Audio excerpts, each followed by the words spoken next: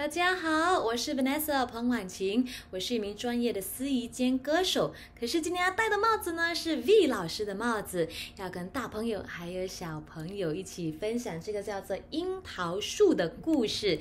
希望大家呢能够随着这本故事书呢，选择希望。啊，这本书呢是由池田大作先生所著作，那 Brian Wilsmith 所绘画。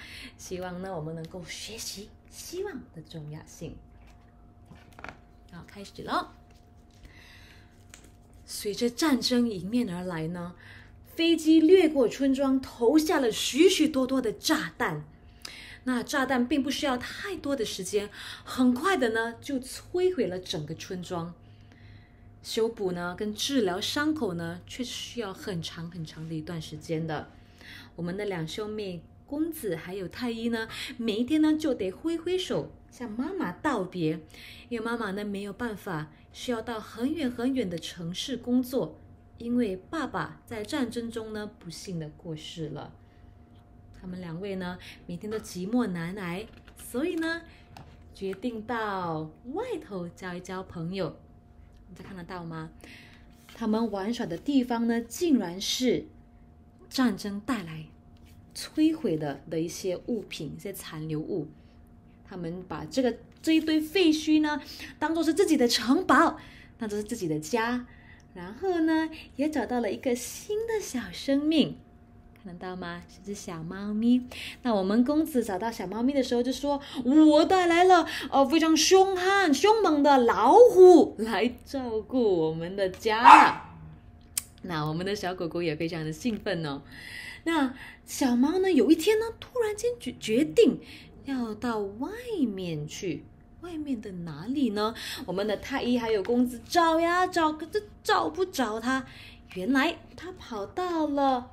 这一棵又干又枯的树上面，诶，那我们太医还有公子呢，也发现到，为什么有一个老人家急急忙忙、忙忙碌碌的把这个又干又枯的树呢，忙着包扎起来？他们就问他，呃，老人家你在做什么呢？老人家就说，我呀，要我要确保呢，我的这棵樱桃树呢不会受冻，因为冬天快到了。我要用我的耐心还有爱心，希望呢，它明年就会开花。那老人家的话呢？诶，就让我们的太医啊，还有公子晚上睡不着觉，一直反反复复翻来翻去，一直想着，为什么这个老人家呢会要选择希望？要以爱心还有耐心，让一棵看起来已经没有生命的树复复活呢？他们就问妈妈，妈妈就回答道：“嘿，希望呢是不用钱，而且希望是最无妨的东西。不如你们明天就去找老人家，帮他把树快快的包扎好。”我们一起的支持，让树加油加油。那我们太医呢，跟公子非常兴奋的说：“好啊，好啊！”他们找到了新的新的一个使命。他们在月光下呢，慢慢的、慢慢的睡着去了。啊，可是原来月光底下呢，不只是我们太医还有公子，原来我们的樱桃树下面呢。是充满着生命的，好多的小动物呢，都在我们樱桃树身边呢，诶，建立了他们的家庭，也在月光底下呢，把就是好好的照顾自己的家庭，充满着生命力。那第二天呢，我们的太医还有公子呢，就赴约了，过来这里帮老人家，啊，快快的把樱桃树呢都包扎好。呃，小猫咪呢也非常舒服的，诶，在树上面睡着去了。那我们的公子呢非常开心的说：“原来就是你把我们带过来这里，要帮助我们的樱桃树的。”哦，很快的雪快快的就落下了，冬天真的到来了。那我们的太医还有公子，就趁雪初初啊，就是刚刚开始落下来的时候呢，还没太冷的时候呢，就天天呢过来这里帮忙把雪花都扫掉。他们呢也因为怕樱桃树寂寞，也建了一个雪人，陪伴着我们樱桃树。可是很快的，雪就急急忙忙的落下了，人类也没有办法再到樱桃树那里帮它扫开雪花，因为真的太冷太冷了。你看，连动物呢都急急忙忙的在呃被呃冰封的泥土下面呢建立他们的窝，希望呢冬天快快的过去，春天快快的到来。那春天真的到来了，春天是从来不爽约的哦。那可是他们却发现了，诶，他们把草席都拿开了之后呢，嗯，树还是干干枯枯的。嗯，那我们的小朋友们就问到老人家说：“我们是不是，嗯，是不是有点失望了呢？是不是我们做的不够好呢？花还是没开啊？”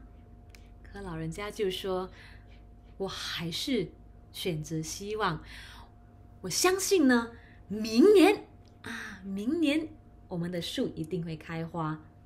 我们的太医就说道：“老人家，你是不是每年都说一样的话呀？是不是每一年呢都那么的说？”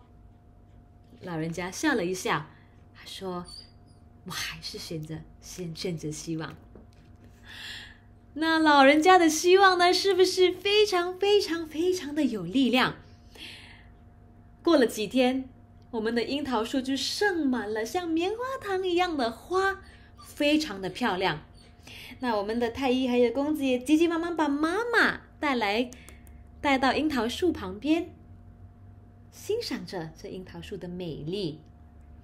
那在那一天呢，妈妈落下了眼泪，仿佛呢，樱桃树带来的希望呢，也慢慢的帮助她的心给疗愈了。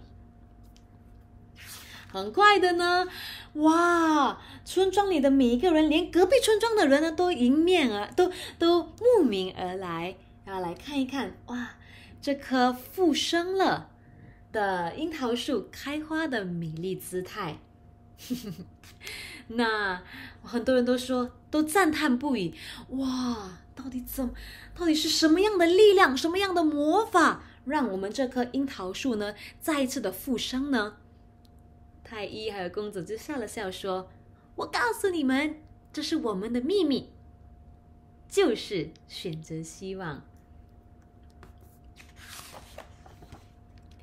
那过了一段日子呢，我们的他们的村庄呢，就好就就就犹如呃樱桃树一样呢，越来越呃越来越充满着生命。恢复了生气，慢慢的复苏起来了。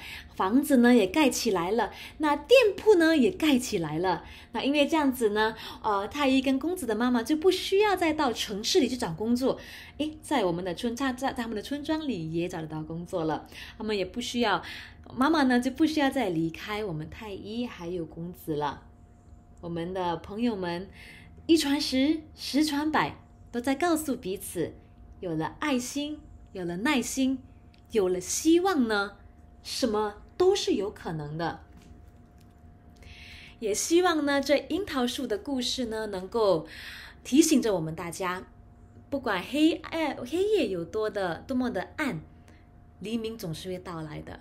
不管春天啊，不管秋天，哎，不管冬天有多么的寒冷，秋天必定会到来，哎，春天必定会到来。那这是。